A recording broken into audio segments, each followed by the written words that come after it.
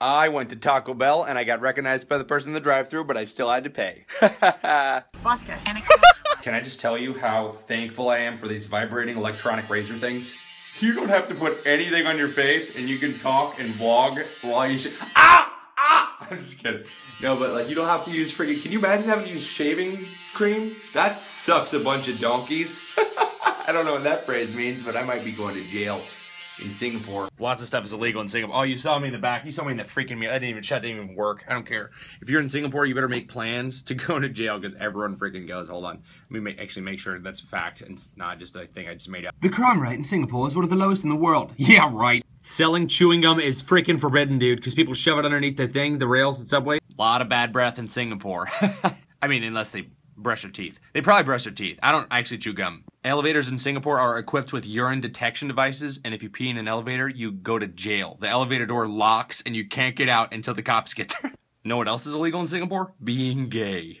Sorry, David. You go to jail for two years. I don't know why David, dude. I don't know why I said David. It starts with a D, ends with a D. It's a cool name. starts and ends with a D. I don't know what that means. I have glasses on. If you are caught not flushing a toilet, you get fined $150.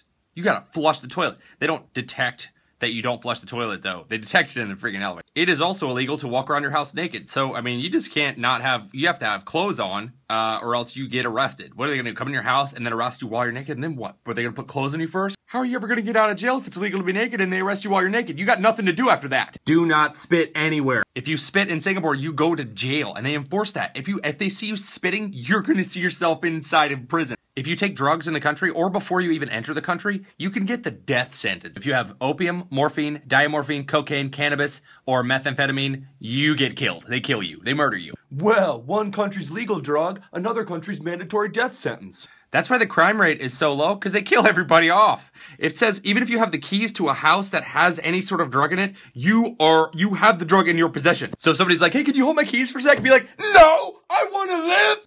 I had an amazing day. I went hiking, oh, and I was like, "Oh, this sucks," so I stopped. But uh, I mean, yeah, I did it. I still, I would still say I went hiking. I, went, I didn't finish the course, but you know, like when you go and then you're like, "Oh, it goes up," and then you're like, "Ah, there's my car." That's what happened. it was good though.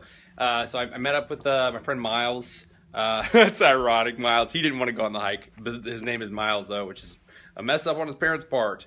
But uh, we actually went to a comedy show, laughed. I laugh really loud always. If you, if I'm ever at anything with you at, in a theater or of some sort, you know I'm like always just not nonstop. And it, you know, it might get annoying, but like I think a lot of, you know, I think stuff's funny. I don't know.